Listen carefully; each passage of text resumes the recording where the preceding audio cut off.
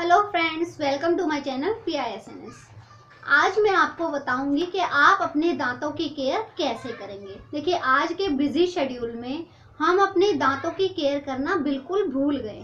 अब आप कहेंगे कि हम तो रोज ब्रश करते हैं, रोज माउथ फ्रेशनर यूज़ करते हैं, हम क्यों नहीं केयर करते? देखिए, आप केयर करते हैं, लेकिन उससे फ़ायदा क्या हो रहा है कुछ भी नहीं।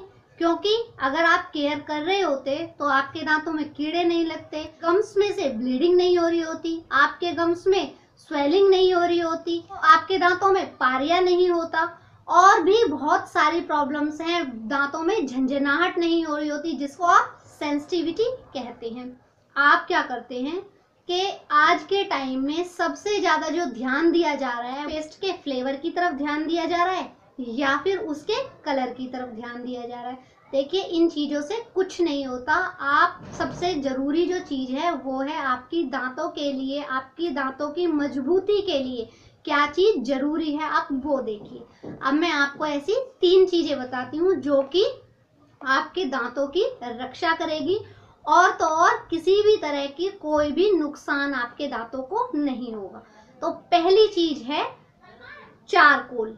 पहली चीज़ है कोयला, जिसको आप चारकोल बोलते हैं, जो कि गंदगी को हटाने के लिए फ़ेमस है। आज के टाइम में हर एक टूथपेस्ट में चारकोल आ रहा है। तो आप पेस्ट क्यों यूज़ करते हैं चारकोल का? आप सीधे ही चारकोल यूज़ कीजिए ना। दूसरी चीज़, फिटकरी। आप फिटकरी, देखिए, मैंने आपको फिटकरी का यूज़ फंगल इन्फेक्शन में बताया था, अपनी स्किन केयर के लिए बताया था, और आज मैं आपको बता रही हूँ दांतों की केयर के लिए आप फिटकरी का यूज़ कैसे करेंगे?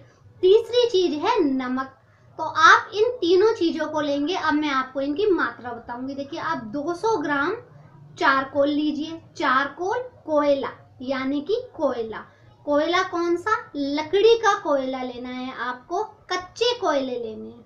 अब कच्चे कोयले को क्या करेंगे? कच्चे कोयले को आप मिक्सर में ग्राइंड कर लेंगे, पीस लेंगे। उसके बाद आप फिटकरी लेंगे करीब करीब 10 से 15 ग्राम और उसमें नमक मिला लेंगे और इन तीनों को पीस के कपड़े में से छान के एक बॉक्स में रख लेंगे और उसी से आप सुबह ब्रश कीजिए। देखिए, अगर आप उंगली से ब्रश करेंगे तो वो बहुत ही ज़्यादा अच्छा होगा। क्यों अच्छा होगा? क्योंकि जब आप ब्रश करते हैं तो आप देखिए, आपके जो ब्रश के ब्रिसल्स होते हैं, यानी उसके जो ब्रश के दांते होते हैं, उनके बीच में येलो कलर का कुछ जम जाता है।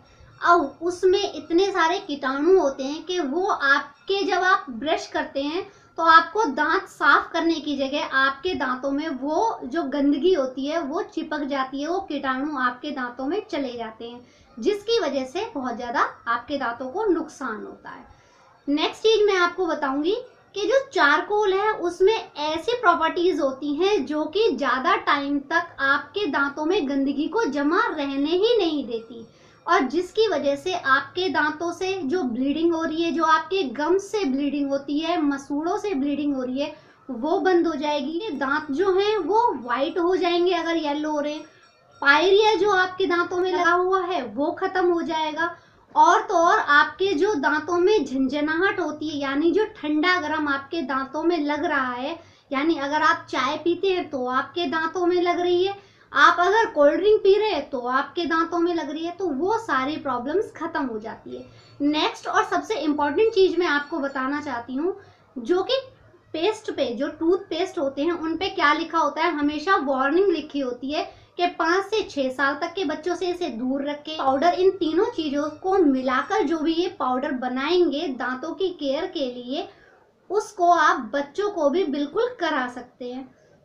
क्योंकि अगर बच्चा इसे खा भी लेगा तो भी किसी तरह की कोई भी दिक्कत नहीं होगी, क्योंकि चारकोल से गंदगी सारी खत्म होती है।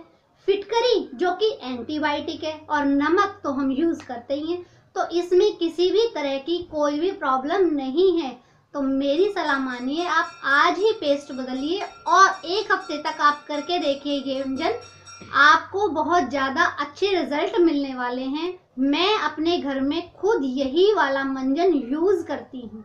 तो थैंक यू फ्रेंड्स अपने फ्रेंड्स से ये टिप्स शेयर कीजिए, ये वीडियो शेयर कीजिए, ताकि उनको जो भी दांत की प्रॉब्लम है वो खत्म हो जाए। अगर आप मेरे चैनल पे पहली बार आए हैं तो प्लीज़ मेरे चैनल को सब्सक्राइब कीजिए बेल आइकन को दबाइए, ताकि मेरे अच्छे टिप्स आपको मिलते